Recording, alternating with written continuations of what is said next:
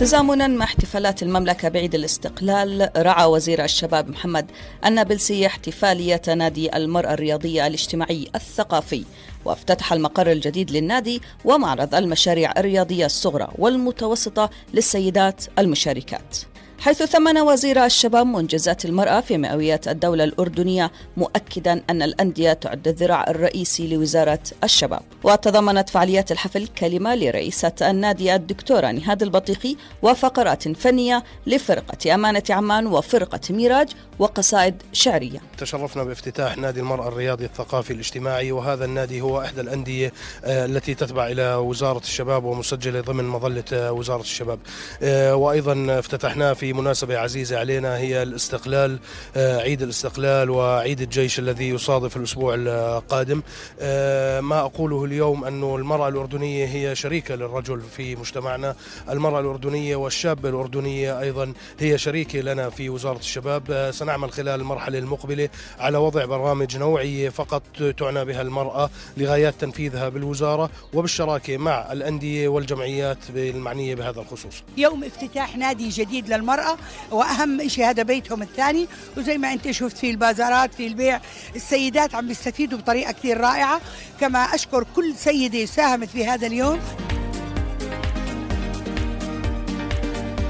وإلى أجواء بطولة خماسيات كرة القدم للاعبين فوق الخمسين عاما والتي نظمها نادي القادسية احتفالا بعيد الاستقلال وبمشاركة ثمانية فرق تنافست عبر مجموعتين.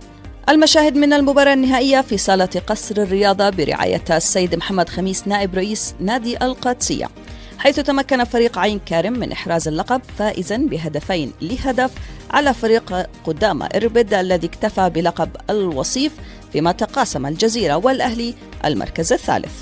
وشهد حفل الختام تكريم الفرق المشاركة والجهات الداعمة والمساندة ومن بينها التلفزيون الأردني والقناة الرياضية.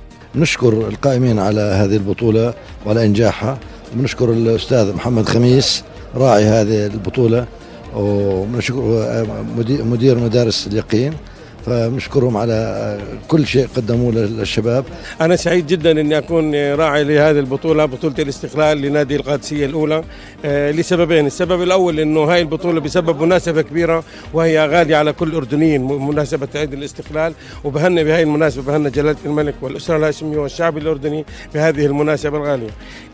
رقم اثنين أنا سعيد جدا أني أكون راعي لهذه البطولة أني أنا أنتمي لنادي القادسية وأنا نائب رئيس النادي في القادسية وهو نادي عريق وكبير. كبير وتحية لكل أسرة نادي القادسية من رئيس هيئة إلى كل الأعضاء. نشكر اللجنة المنظمة نشكر التلفزيون الأردني نشكر الجهات التي قامت على آه، إنشاء هذه البطولة اللي هي ما فوق خمسين سنة آه، اللي ذكرتنا بالماضي وباللاعبين السابقين اللي صار لنا فترة طويلة ما شفناهم. ونشكر اللجنة المنظمة بنادي القادسية الذي جمعت وعملت هذه البطولة بأعياد الوطنية الذي نفتخر بها ونشكر القائمين من وراعي المباريات. تحت رعاية مدير التربية والتعليم للواء عين الباشا فادي الجزازي أقيمت فعاليات مؤتمر التربية الرياضية الأول الواقع والآمال المستقبلية بتنظيم مديرية التربية والتعليم للواء عين الباشا في أكاديمية نورث سيتي. بمشاركة أكثر من 50 مشرفا ومشرفة وأكثر من 70 معلما ومعلمة تفاعلوا مع محاضرات الدكتور عبد الباسط شرمان الدكتور محمد ديابات والدكتورة منال البيات والدكتورة منال طه. واطلع الحضور على أحدث استراتيجيات التدريس في التربية الرياضية وضرورة تجاوز التحديات والمعيقات التي تواجه معلم التربية الرياضية. يأتي هذا المؤتمر ضمن سلسلة نشاطات وفعاليات تنظمها مديرية التربية والتعليم تختص في التربية الرياضية وربطها في التربية والمجال مفتوح إن شاء الله للعديد من الاحتفالات والنشاطات المستقبلية فيما تخص التربية الرياضية دور الدور مديرية التربية والتعليم تسليط الضوء إلى الرياضة المدرسية ودور الرياضة المدرسية في دعم الرياضة الوطنية والرياضة الاحترافية. يا ريت مديريات آه، أخرى كمان تنهج هذا النهج. علنا المنهج العلمي هذا آه، آه، نشبكه مع الرياضة. يكون في عنا خطوات للأمام. إحنا عارفين إنه المنهج العلمي أساس إنه إنه يصير تقدم في المجال الرياضي خصوصا في المجال في, في قاعدة الهرم الرياضي المدارس. المؤتمر من المؤتمرات اللي صراحة لعلها في البدايات يعني تضع النقاط على الحروف وإن شاء الله تكون يعني باكوره مؤتمرات أخرى لاحقة تعزز هذا الأمر. بتمنى إنه كمان إنه تستمر هذه المؤتمرات ويكون في تطوير إلها واستضافة ودعم من الوزارة ومن خارج الوزارة.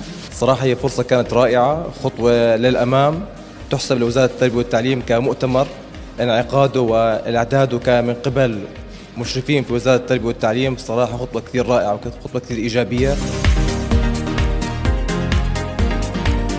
وختاما فقد شهدت عمان على ملاعب نادي ديونز منافسات البطولة العربية الأولى لرواد التنس الأرضي بتنظيم من نادي التنس الأردني وبرعاية وحضور أحمد الجابر الصباح رئيس الاتحاد العربي للتنس الرياضي. وبمشاركة 174 لاعب ولاعبة من 13 دولة عربية هي مصر، اليمن، الجزائر، تونس، العراق، الكويت، سلطنة عمان، السعودية، البحرين، فلسطين، سوريا، لبنان وإضافة إلى الأردن.